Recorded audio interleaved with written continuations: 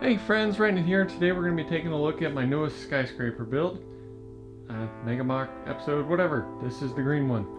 Now, when I, the idea came for this because I wanted to build something out of these dark green bricks. And dark green, they don't make very many bricks. And they're kind of expensive. So I kind of had to stick with some modestly priced ones. And I think it's all the dark green ones are the one by ones, one by twos, and one by fours. At least in this particular build. And this is regular green. It looks a little different. And black, obviously, but that's all the colors. So it sits on a regular 32 by 32 base plate here. Has six floors. The top, which we'll scroll up a little bit, with the traditional MRN antennas. And then the bottom floor right here. Now I think this is kind of an apartment building or something. Maybe you see this in like New York or somewhere, but it's got these two doors. And this is symmetrical on all four sides here. Kind of roll it around so you can see it. Three. Okay. Problem is, I ran out of bricks, as you can see here. Somehow I counted, well I knew I was going to be a few short, but somehow I miscounted on my want list sheet by about half. So I thought I was going to be about this many short, and instead I'm like three or four floors short. But we'll get that fixed sooner or later. But I was excited when I got it finished, and I wanted to share it with you. So let's break it down floor by floor maybe, and dig into how it looks. Alright, well here is the ground floor. Now as you can see it's just the simple tiles across the top and the only thing holding it in there is there's a little 2 by 2 brick uh, plate excuse me, on the bottom of each floor that kind of holds it centered. That's all you really need. It's got a little support column in the corners and in the middle since it's got these 2 by 3s sticking up and the wall is just one stud thick and this is 3 thick so yeah it's got those columns for support in the various places around it. Alright so now these windows are the same throughout the build. It's just kind of a modular type deal. So you got a 1 by 4 tile on top and you got two of these little lip pieces. You can see give it some depth. And then you got this little build here with these trans black um, bricks actually. And then more lip pieces on the bottom. And these are just kind of stuck on the bottom of this. And the windows are two studs thick so inside the brick which you can kind of see back here and then sticks out so that gives it some some depth here. And then I went with the traditional Lego cross pattern that you see on you know, a lot of their builds. They make them stick out, but I wasn't that ambitious. I think that it looks neat just like this. It adds a little touch in the corners. Alright. The door, these were supposed to be cones, but they don't make darkening cones. So, thought about getting regular green ones but I had some extra ones of these one by one bricks, so I figured why not just stick them in there. I think it looks good. And I have the door with this one little stud handle. These are also the dark, or was it trans black? So that's pretty neat. Um, so that's pretty straightforward. Now, the one thing I don't like, and I gotta quit designing my buildings like this, is as you can see, it's got the, the regular 32 by 32 base plate and then it overhangs. And I hate that, but I mean, you, just for example, my thinking behind it, with this really dusty road plate, would be that it would sit, you know, kind of taking over the sidewalk. So that's here and over there, that's just kind of what it is, but I needed some extra room to make the stairs.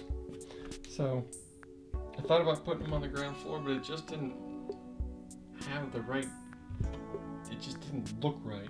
So anyway, that's that floor. Okay, the next thing we're gonna look at is the top floor.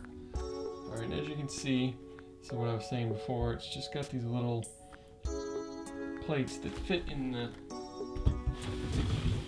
fit right here, hold it in place. It doesn't have any jumper studs or anything, just holds it in there. And it's, as you can see, it's fairly limited. I didn't, for some reason, interlock, like you can see here, with these ones. I should have put a, a one like this down here so they would be offset and interlocked, but I didn't do that for some reason. In Digital Designer, or MLCad, not Digital Designer. But that's okay, it's sturdy enough as it is. Alright, so to add a little detail rather than and break up just the plain black, I put these one little studs in here. So that'll be cool. I think if I light this up, I might replace those with trans green and stick a light under them. So that'll add a, a little something extra, I think. We'll see. I don't know if I have any trans green, but it'd be it'd be neat. I'm still trying to figure out if I stick a light under this, will it turn this into like a fiber optic deal? That would be neat if the whips kind of would glow.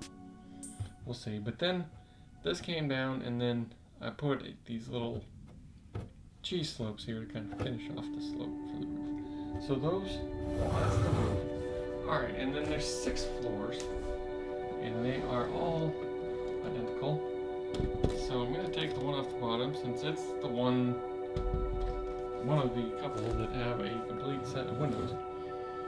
Alright, so again, it's just tile, there's no jumpers. If you're not crazy, it, it's fine. It just sits down there and it's, it's not going to tip over. Alright, so on the inside again, rather than doing a full floor and kind of wasting pieces, I, it's not a waste if you like to build out your, in, or your insides, but I don't really care about that. And I do have some buildings that are like that, but once I started doing this, it cut the price by like 50%. Just getting all those big plates to fill on the inside is expensive.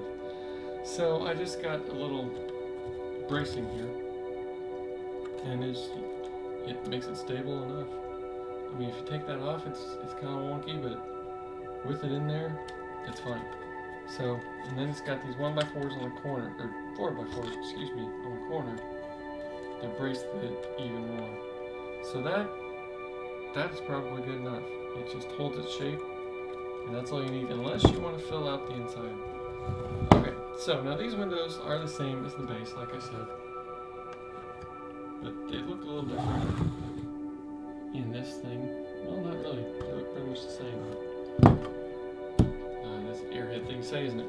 Anyway, it's still got the brick hatching pattern, the lips and all that, and then try to make the little details you can add just to make it symmetrical. Like as you can see, the bricks kind of fall in there, and then there's no seams, and then all the tiles are symmetrical too. I mean, you can't really tell from far away, but I like it. I like it like that. You know, to each their own, but it doesn't really matter. You can use what you got. So, yeah, like I said, all the floors are the same. So we'll eventually put lights in here, but not right now. I kind of want to finish all the windows so I know how it's going to look at the end. So let me know what you think. Do you like this? Is there anything you would have done differently? Is there anything you think could you could add to to make it better? I would be interested to hear your thoughts. And as always, gotta do the honesty check. It does in fact say Lego on all the bricks. So, alright, let me know what you think. Keep it real. See you next time. Thanks for watching.